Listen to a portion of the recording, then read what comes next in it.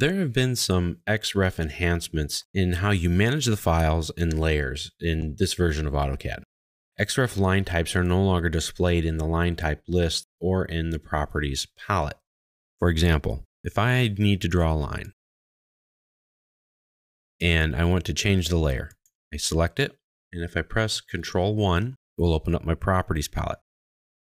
Now, if I click on this list of layers, it only has layer 0 listed as an option, because that's all that I can apply to it.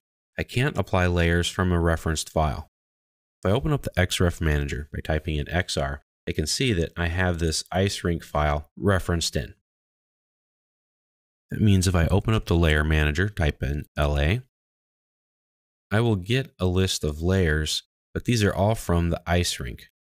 They're from that file and not this one. So that's good because when I'm in the properties manager, I can't list those out because I can't pick them as an option to apply to my object anyway. So that's nice. It's a little thing, it cleans stuff up.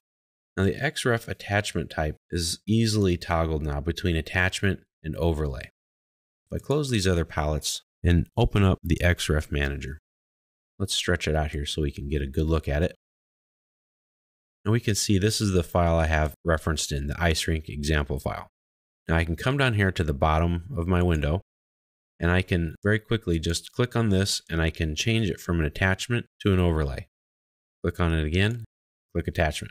So I can easily toggle that back and forth. And that's nice. That's not something we could easily do before. I can also very quickly and easily switch a file that's referenced from an absolute path to a relative path. You scroll down here, you can see where the file is found at, where the actual saved path is for the file. And if I select the XREF here, I come up to the top of this external reference manager, I can change the path. If I click on this arrow, I can make it absolute or I can remove the path altogether. So if I make it absolute, and now it's an absolute path. You can also right click on it and get to some of your options here attachment and overlay, and the path right here.